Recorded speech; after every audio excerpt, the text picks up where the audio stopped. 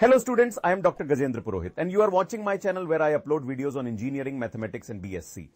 If you are preparing for any exam that involves higher mathematics, then my YouTube channel is very helpful for you. You can watch previous videos of discrete mathematics on the iTab. Today, I am going to explain Hasse diagrams and concept of lattice, that which will be the Hasse diagram and if it will be lattice. We will also discuss concepts like maximal elements, minimal elements, greatest lower bound and least upper bound in the Hasse diagrams. So please watch this video.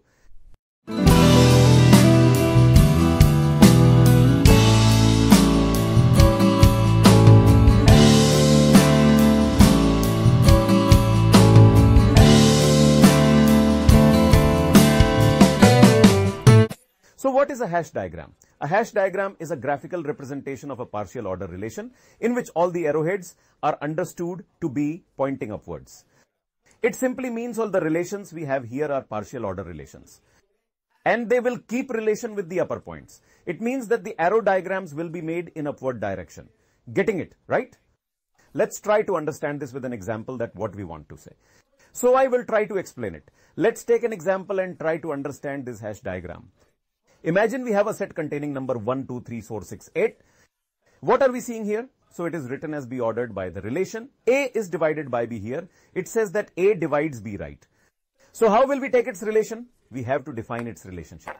So what will be the relation? Here you can see that we will write all those which are divided by number 1. So 1 divides 1. 1 divides 2. After that 1 divides 3. 1 divides 4. 1 divides 6. And here 1 divides 8. That will be the relation here. Okay, now after number 1. Let's talk about number 2 here. We have 2 divides 2. What after that? 2 divides 4. Then we will write 2 divides 6. Finally, 2 divides 8. Now let's talk about 3. Here 3 divides 3. The relation here is based on conditions and whatever relation we have should be a partial order relation, right? 3 divides 3 and when we talk about next, 4 divides 4. And 4 divides 8, right? Then we talk about 6. So students, 6 divides 6 and it doesn't divide anything else. 8 divides 8, right? So we have this relationship. Now you have been told that this should be a partial order relationship, right? If this is a partial order relation, then we have three conditions. One is reflexive, meaning it is going on its own. Second is antisymmetric. It means that if 2 is going on 6, then 6 should not go on 2, right? For example, if 2 goes on 4, then 4 should not go on 2. That's what antisymmetry means, right? So we know that this is antisymmetry and transitive. Transitive means that if we have a relationship like 1 is going on 2 and 2 is going on 4, then there must also be a 1 and a 4. So as here it is 1 and 4, so it is showing transitive property too. This is a partial order relation. Whenever we draw a Hasse diagram, it should have a partial order relation. It means that it should be reflexive, antisymmetric, and it should be transitive, which it is. Now let's understand how to draw a Hasse diagram. So what we do is we bring this thing here, right? So one can divide which of these, right? So here students you can see that. It is dividing 2. One here is dividing 3, right? It is dividing itself as well, right? Actually, I'll write it like this. It's better if I don't draw the arrow. Here, 1 is dividing 2 and dividing 3, right? Now, students, you can see that 1 is dividing 4, right? And 1 is also dividing 6 here. Correct or not? Students 1 is also dividing 8. So, we can write it like this. Now, after this is students, let's talk about 2. Right? Here, we can see that 2 is dividing 4. 2 is dividing 6 and 2 is dividing 8. Clear? Now, let's discuss 3. So, students 3 is dividing which of these? 3 is dividing 6 and itself. Also, each number is dividing itself. This is understood. No need to write it like that. That these are dividing themselves, is this clear? Now let's talk about number 4. So I will use a different color to show 4.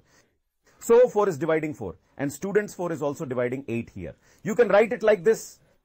Now let's talk about 6. 6 divides itself, 6 is dividing 6 and 8 is dividing 8. Now my dear students, I want to tell you that to create a Hasse diagram, we need a partial order relation. First property of a partial order relation is that it is reflexive. An element should go over its own meaning it divide itself. When it's in the definition, there's no need to show it with an arrow. So, we won't represent those who are going over their own. We have no need for it. It's in the definition. We won't do it from here because it's ultimately part of its definition. So, we don't need to explain it here. We'll erase it here. So, we have removed it now. Let's talk about the second thing that is antisymmetry. Anti-symmetry because we have a graph that's going upwards. It's not that 1 is dividing 2, so 2 will also divide 1. Whenever we have a relation here, it's defined from bottom to top, not top to bottom, right? And that is already happening in this. So when we are placing an element above another element, then relation is not coming opposite or inverse, right? We need to pay attention to this. This is the biggest thing in a Hasse diagram. What's the next property? It's transitive. The transitive property means that if 1 is dividing 3 and 3 is dividing 6, then 1 will divide 6. We don't need this line. It simply means that this line which you can see here, students, we don't need this line at all, right? This means we can just work with this line, right? So we can represent it like this. If I say, so we can just work with this line. 1 is dividing 3 and 3 is dividing 6, so no need to divide 6 with 1 because it's transitive and a partial order relation. So we don't need this. Similarly, you can see that if 1 divides 2 and 2 divides 4, then 1 divides 4. We don't even need this line. Getting my point? Yes or no? So, students, if you look at this line, which is here, we don't even need this line, right? Yes, we won't need this line at all. Is this clear to all of you? Anyway, we will need this. We can't avoid this line because we don't have transitivity here. It's not like 1 divides 2. N2 is dividing 6, right?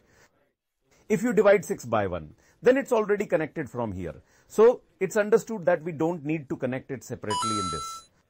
So it's important to note that because of the transitive property, there is no need to create this type of relation. It's understood that it will come by the transitive property. So its Hasse diagram will be like this. It means that we won't need this line here, which we have. Okay. So we will use the definition of partial order relation to make a Hasse diagram here at this place. And we remove the unnecessary graphs from here. Is this clear? And we can understand easily which is a minimal graph where there is least representation. We can understand this. 1 is dividing 3, 1 is dividing 2, 1 is dividing 6, 1 is dividing 4 and 1 is dividing 8. You'll see that 2 is dividing 4 and dividing 8 and also dividing 6. Similarly, 3 is dividing 6 and also dividing itself. You can see that 4 is dividing 8 and 8 is not dividing anything. This is the Hasse diagram and it's very important. If you understand Hasse diagram properly, then you can understand lattice and all those things easily. Let's see a question. You are asked what will be Hasse diagram of the subsets of the set S, which includes A, B, and C. It means what will be Hasse diagram of subsets of set A, B, and C. And ultimately, set of all the subsets that is given to us is the power set, right? If I talk about this set, what are the subsets we can have in this? If we have been given set A, B, C, then what subsets we can have? We can have subsets like phi. Next will be A, another will be B, and next will be C, right? And then students, we will have AB here and we will have BC here and then students we will have AC here, right? And finally A comma B comma C. The way to write this is to take all elements and raise to the power of 2. So 2 to the power of 3. This means we have 8 subsets here 1, 2, 3, 4, 5, 6, 7 and 8. Now how do we make a Hasse diagram of this? Now this Hasse diagram means we need to take this one into account the relation we have here. For example, A is its own subset. Yes, A is its own subset. Follow this carefully. This is subset of AB, this is subset of AC, and this is subset of ABC, right? Now, let's see the relation. Now let's talk about the relation. What's the relation here? Phi will come here. And remember that phi is actually a subset of everything, of A, B, C, and so on.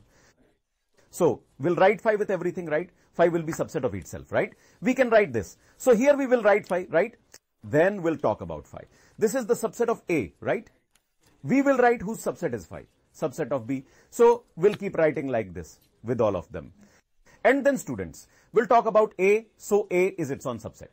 We'll write it alone. Now, this A, with whom is this A subset? This A is a subset of AB, right? We can write it like this here.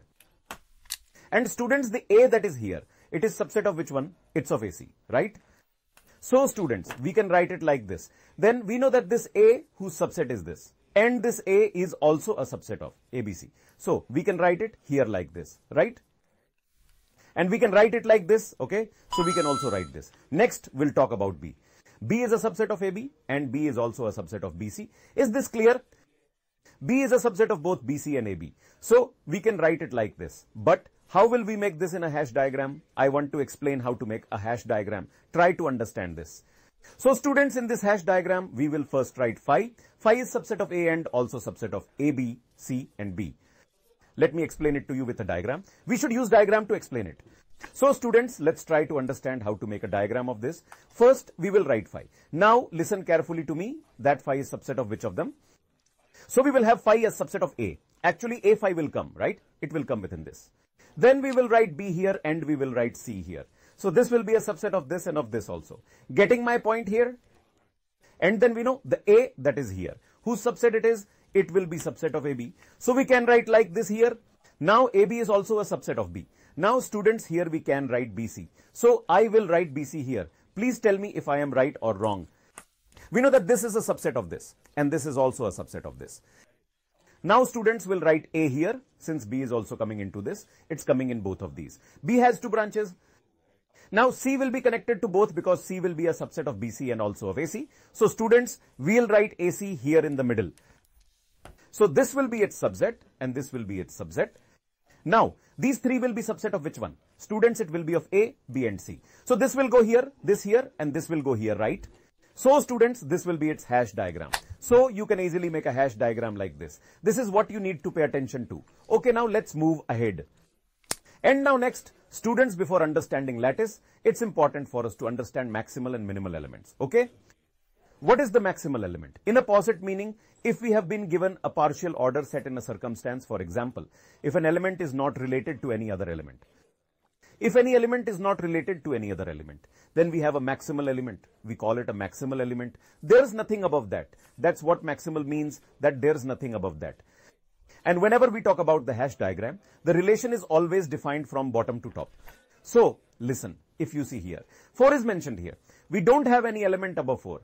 Ultimately, whatever relation we have, it's always defined upwards. There's nothing above 4. It will become a maximal element. There's nothing above 3. It will become a maximal element.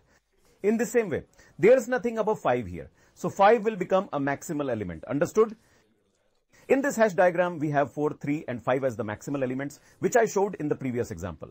So, in the last example, the maximal element we have here is ABC. There is nothing above this. Getting it? So, this will be the maximal element. Clear? Let's move ahead. So, what is a minimal element? A minimal element in a poset is an element where no other element is related to it. That element is what we will call a minimal element. For example, 1 is related to 5, 1 is related to 3, 1 is related to 2, and 2 is related to 4. But nothing is related to 1. There is nothing below 1. There is no element that relates to this one, right? So, this one will be the minimal element. The element with which no other element is being related. This is known as a minimal element. We have discussed this already. What is the upper one doing with the lower element? It relates to it. Imagine the smallest person in a house, right? There's no one to call him big brother. That's what we call a minimal element. Let's understand the diagram again. We have this lattice diagram. So phi here is a minimal element. Why is this so? Because nothing is related to it. This is something you have to understand carefully. I hope all is clear now. As I mentioned in the diagram, we have maximal elements which are 4, 3 and 5. And we have a minimal element which is element 1. Maximal and minimal elements. Next, there is a theorem. That theorem states that if we have a finite non-empty poset meaning a non-empty partial order set, which we write it like this. Look carefully here. We have a set and we have a relation. It has at least one maximal element and one minimal element. If we have a finite poset, partial order set, then there will be at least one minimal element and one maximal element. Have you understood? It's understood that if we make a Hasse diagram, and that Hasse diagram is finite, it will stop somewhere. And where it stops, that will be the maximal element. This part is basic and already covered. And where it starts, that will be the minimal element. If we have an infinite Hasse diagram, then we won't be able to find its maximal element. There's no way to know that, right?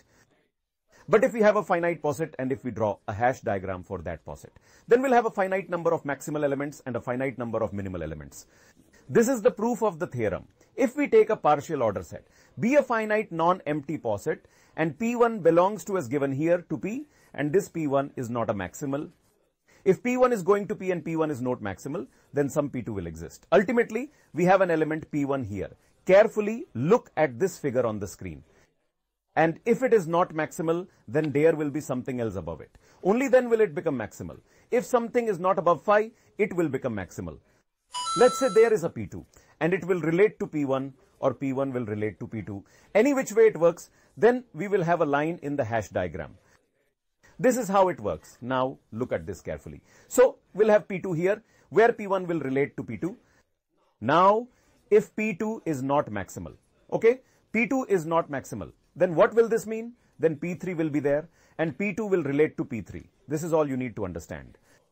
If this keeps happening, then someone will definitely go somewhere and stop because we have a finite set, a finite non-empty set and so on. And given that P is finite, so for some element, Pk belongs to P since there is no element Q of P such that Pk is related to Q. Meaning that we have a particular point where it will stop sometime because it's finite. So let's say it stops at Pk. And what will this pk do with any one of these elements? Meaning, what will any element do with pk? It will relate to it. If pk is finite, so what will this be? It will be its maximal element, right? If there's maximal element and it's finite, then its maximal element will exist. And if it's minimal, then it will have minimal from where it will start. So, we need to understand that in this way, we can easily understand this. And similarly, we can use a similar argument for the minimal element. If we have a finite non-empty poset, then we can understand its minimal element. In this way, if it has a finite poset, then its minimal element will be at least one element. Okay? Like this, we can easily understand it. Let's move ahead. So, look at the next concept. It's lower bound and upper bound. Just like in real analysis, we study upper and lower bound within set, we also have it in the Hasse diagram. And what is this upper bound? We first understand that if we have any poset, B is a poset and B be the subset of P. Okay, B is the subset of P, meaning whatever poset we have, B is some subset of it. Alright, and if X belongs to A, there is an upper bound of B. But if the X that we have in A, if it will be the upper bound of B, if Y is related to X for every Y belongs to B. Now, what does this mean? I will try to explain it to you through this diagram. So, let's take an example. If someone asks you, what is the upper bound of this 9? So, we have a set named 9. Now, we have to see which element is higher than 9, which is related to it and is also the biggest. Obviously, it's 10. And what will be 10? It will be its upper bound. If you were asked the upper bound of 5, 6, 7, what will be it? So we can have 9 or even 10 as the upper bound of 5, 6, 7. We will have to. Now you will say that sir 4 and 8 can be, but my dear, they are below that because the relation is always upwards. Getting my point? So here 9 and 10 will be our upper bound. If you are asked what is the upper bound of 3, so the upper bound of 3 can either be 5 or 6 or 7 or 9 or 10. Getting my point? Now, sometimes in exams, you are asked about what are least upper bound. For example, of 5, 6, 7. We have two upper bounds. One is 10 and other is 9. If you were asked what is the least upper bound, then it will be 9. Is this part clear to you? So, the upper bound means that whatever is our Hasse diagram to which it's connected, where it's making a relation. Understood? So, you have to see there's an element just above it. That element is just above it and what is it doing? It's relating to it. So, what will happen to that? It will become upper bound. That's what it's saying in this definition. Now, we will talk about lower bound. An element x belongs to A is lower bound of B. If x is related to y for every y that belongs to B. If I tell you what is the lower bound of 5, 6 and 7. So, its lower bound will be 3, 2 as well as 1. There will be 3 lower bound, right? They all are coming where? Below it and are also relating with it. If you are asked what is the greatest lower bound, which one is the biggest among 1, 2 and 3? 3 is the biggest. So what will we get? It will be the greatest lower bound. If we talk about how much lower bound of 9 will we have? So we'll have 4, 5, 6, 7, 8 and even 1, 3 and 2 as lower bound of 9. All the elements that are below it and are relating to it, what will they be? They will be its lower bound, right? We can easily understand like this. If we have 10, then everything below it will be our lower bound. This is what we need to pay attention to. Let's move ahead. So students, now we will talk about lattice and if we have been given any, poset meaning any partial order set is said to be a lattice if every two elements in the set L has a unique least upper bound and unique greatest lower bound, right? Now we will try to understand its definition. In this video, I am trying to tell you what does every two elements mean. We have 5, 6 and 7. We took three elements. So what will be the upper bound of these three elements? You said 10 and 9 will be its upper bound. Then I asked what would be the least upper bound and you said it would be 9. That is why I said it in front of you that lower bound of 5, 6 and 7 will be 1, 3 and 2. And when I asked about its greatest lower bound, then you said it will be 3. But when we talk about lattice, then we won't take three elements. We will take only two elements at a time. Either take 5 and 6 or 6 and 7 or 5 and 7. Take any two elements, okay? In an arbitrary set, take any two elements and the least upper bound or greatest lower bound of those two elements should exist here and it must also be unique. If this happens, then it's called lattice. And this is its definition. Here we are taking three elements, but we just need to take two and our work will be done. Let's try to understand example. So, for these two diagrams, we will see that which is our lattice. So, for the definition of lattice, we must have an unique least upper bound or the greatest lower bound which should also be unique. First of all, I will try to make you understand this diagram. Suppose we took two elements, f and g. We will see its lower bounds, that which are the lower bounds. Then we'll talk about greatest lower bound. So, let's see if b is lower bound of these two. So see, b is relating to f, but b is not relating to g. It should relate to both. Then only it will become a lower bound. Is it clear? Similarly, c is relating to f, but it's not relating to g. So this too is impossible. So now we will talk about D, which is relating to G, but it is not relating to F. So this can't be lower bound either. So students, this E is relating to G, but E is not relating to F. So this won't be a lower bound. Now, let's talk about A. A is relating to F and A is also relating to G. And this is the only one. So what will be this for us? It will be its greatest lower bound, which is unique as well. Now we will talk about its upper bound, that whether we have one or more than one least upper bound. Is it clear? So now we will talk about upper bound through this diagram. Now students, we will talk about upper bound. We will firstly talk about f, which can be the upper bounds for f meaning f is relating to which other elements. So f is relating to i and f is also relating to h. It is relating to k as well as to j. It is relating to all the four elements. Correct or not? Similarly, we will talk about G. G is relating to H. G is relating to J and it is also relating to I and K. These four will be its upper bound. Now that we have the upper bound with us, we will talk about what will be its least upper bound. The least as we have both of them just above it. So least will be these two, H and I. Then I will remove one above because while taking least, we remove the one above. So students, H and I will be its least upper bound because F is relating to H and even G is also relating to H and both are on the same level. So both of them will be the least upper bound. But the least upper bound which we have, it is not unique. And when it is not unique, then it means that we do not have lattice. This we should keep in mind because whatever is our unique upper bound, it should be unique for at least two elements, right? And what should be its greatest lower bound? So, its greatest lower bound is unique. But our least upper bound is not unique. That is why this is not lattice. Now we will talk about this diagram. So for this diagram, let's select any two elements. I will take E and G elements take any two. E and G, or if you want you can take B and D as well. As you wish, right? Now we will talk about E and G but here we are getting only one upper bound that is H. And this is the only least upper bound we have. So what will be its unique? It will be least upper bound. Now students we will talk about its what? About its lower bound. So which can be the lower bounds of E? Well, the lower bound of E can be either A or B or C or D. We can have four lower bounds.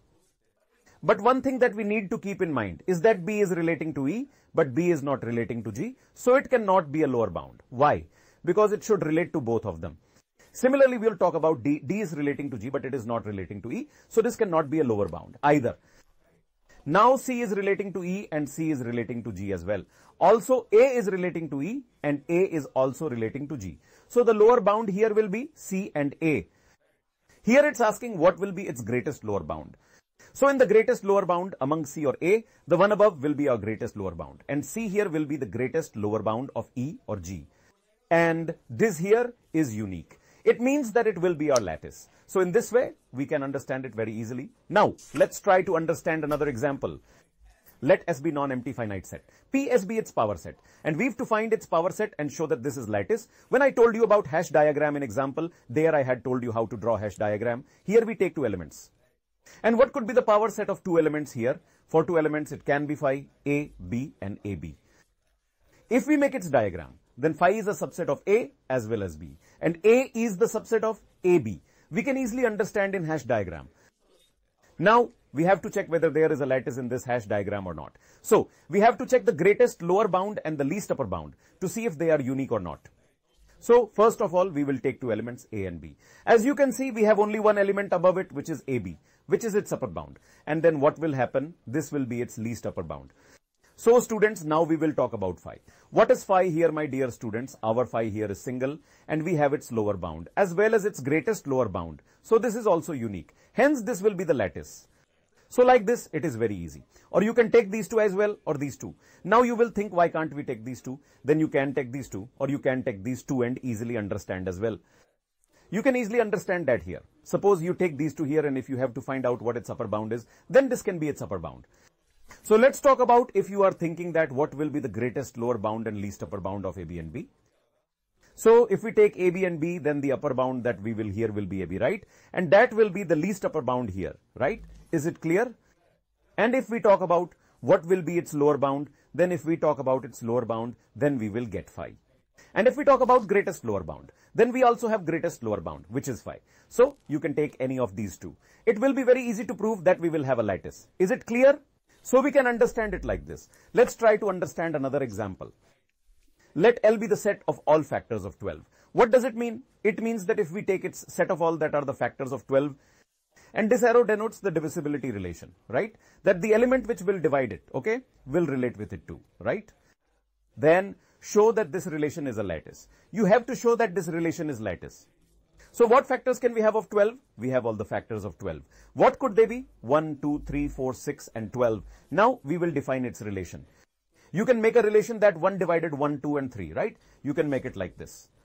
1 divides 1, 1 divides 2, 1 divides 4, 1 divides 3, 1 divides 6. We can draw a Hasse diagram. Now we'll talk about 2. So what is 2 dividing? 2 divides 6, 4 and 12. If we talk about 3, 3 divides 6 and 3 divides 12. Similarly, we will talk about 4. So 4 divides 12 and none other. While 12 divides 12, so what do we have here? We have a Hasse diagram. Now let's see here, we will take any two elements and we will find if its least upper bound and the greatest lower bound are unique or not. So let's say I have taken 6 and 2 here. Let's take 6 and 2, then its upper bound will be 12 and 4 is also possible, but 4 is not related to 6 here. So we will have only 12 which will be its upper bound. And what will happen to it? It will be our least upper bound. If we talk about the lower bound of 2 and 6, then lower bound will be 1. It can't be 3 because it's not relating to 2. We'll have this and this is also unique. We'll have this lattice. If you want to take 2 and 3, then you can take it. If you take 2 and 3, then in this case, its upper bound could be 6 and 12. It can't be 4 because 4 is not related to 3. So students, we will talk about which will be the least upper bound of 6 and 12.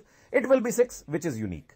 Now about the lower bound of 3 and 2. So the lower bound is coming 1, which is unique.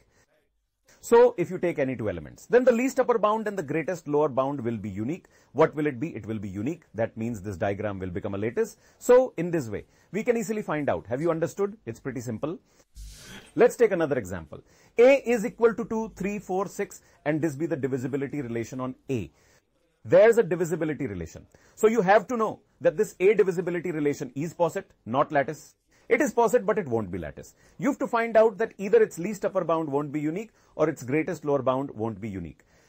This is to keep in mind. So what will we do? First, we will draw a diagram. I will draw a diagram. See here. So students, what all is 2 dividing? Let's focus on 2 first. It is dividing 4 and 6, okay? So I will write 4 here and I will write 6 here. So 2 is dividing this, 2 is dividing this. Clear? But 2 is not dividing 3. Now we will take 3. So students, 3 is dividing what? Okay, so it is only dividing 6 and it won't divide anything else. So this will be its Hasse diagram. Now this is the Hasse diagram. We can divide it like this. And there's no need of telling that it can't be divided by itself. And 3 doesn't divide, 6 or 4. Then it won't be connected. So now we will talk about any two elements and find out their upper bound. And then we will talk about its least upper bound. So let's look at this diagram and understand it. Assume any two elements, 3 and 4. I will take 3 and 4 and find out about its upper bound here. Okay?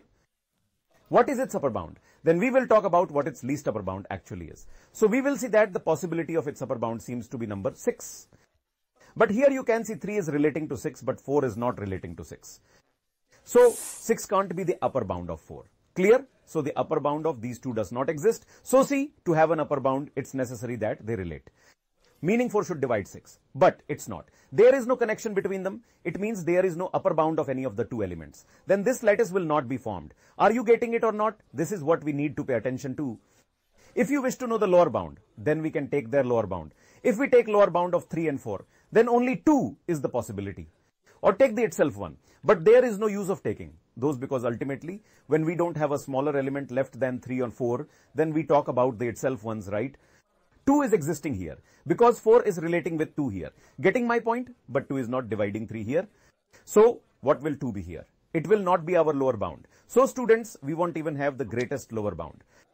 So neither we are getting the least upper bound nor the greatest lower bound, which means that we don't have the lattice. So I want to tell you that whenever we talk about lattices, the diagram should be closed.